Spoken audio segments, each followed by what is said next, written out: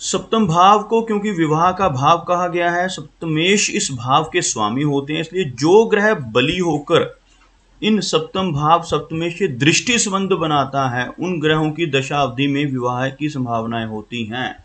यानी सातवें घर का मालिक जो है, उसकी दशा, अंतरदशा में तो शादी होगी ही। अगर कोई ग्रह इसके बिल्कुल सामने बैठकर इसके साथ दृष्टि संबंध बनाए, म्यूचुअल एस्पेक्ट बनाए तो उस ग्रह की दशा अंतरदशा में भी विवाह हो सकता है। जब किसी व्यक्ति की विवाह योग्य आयु हो तथा महादशा का स्वामी सप्तमेश का मित्र हो, शुभ ग्रह हो, वह साथ ही साथ सप्तमेश या शुक्र से सप्तम भाव में स्थित हो तो इस दशा में व्यक्ति के विवाह होने के योग बनते हैं। इसको समझो दोबारा से।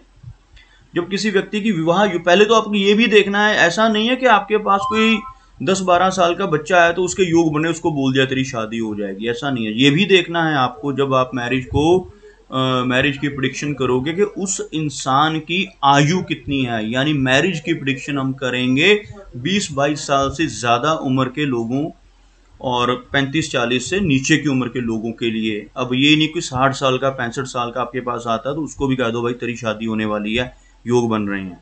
ऐसा नहीं कहना है। तो ये साथ में लिखा है कि विवाह योग आयु हो, महादशा का स्वामी सप्तमेश का मित्र हो। अब देखो, जैसे महादशा चल रही है शुक्र की, या महादशा चल रही है शनि की, और सप्तमेश जो है वो शुक्र हैं तो ये क्या हुआ? महादशा लॉर्ड जो है वो सातवें घर के मालिक के दोस्त हैं, मित्र हैं, और शुक्र से सप्तम भाव में स्थित हो, शुभ ग्रह हो, और साथ ही साथ सप्तमेश या शुक्र से सप्तम भाव में स्थित हो। जिस प्लैनेट की अंतरदशा या दशा हमने देखनी है, या तो वो सातवें घर से सामने सातवें घर के बैठे हों या शुक्र के सामने बैठे हों, उस स्थिति में भी विवाह के योग बनते हैं। अगला पॉइंट क्या है?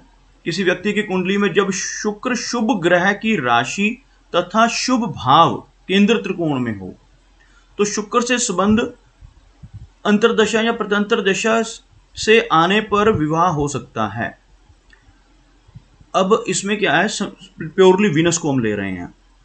जब कुंडली में शुक्र शुभ ग्रह की राशि तथा शुभ भाव में हो वीनस को देखना है अकेले को और किसी चीज़ को नहीं।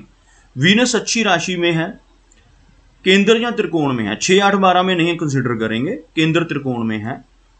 तो इनकी जो दशा या अंतरदशा इवन या प्रतंत्र दशा, तीसरे लेवल की दशा भी आती है तो भी मैरिज के योग बनते हैं। कुंडली में शुक्र पर जितना कम पाप प्रभाव कम होगा, विवाहिक जीवन के सुख में उतनी अधिक वृद्धि होगी। अकेला वीनस देखकर भी आप बता सकते हो कि किसी की मैरिड लाइफ कितनी अच्छी है, क्योंकि अकेला वीनस अच्छा है तो वो मैरिज को सपोर्ट करेगा। शुक्र से युति करने वाले सभी ग्रह, सप्तमेश का मित्र अथवा प्रत्येक वह ग्रह जो बली हो, तथा इनमें से किसी के साथ दृष्टि संबंध बना रहे हों। उन सभी ग्रहों की दशा अंतरदशा में विवाह की संभावनाएँ बनती हैं। दो चीज़ों को देखना आपने, वीनस को और सातवें घर को। इनके साथ जुड़ने वाला कोई भी प्लैनेट इनका कोई भी फ्रेंड उसकी दशा या अंतरदशा चल रही तो उसमें भी मैरिज हो सकती है।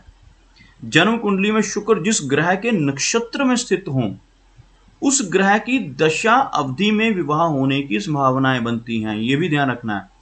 जिस राशि में, जिस नक्षत्र में वीनस बैठे हैं अगर उसके लॉर्ड की दशा अंतरदशा आती है तो उसमें भी शादी हो सकती है।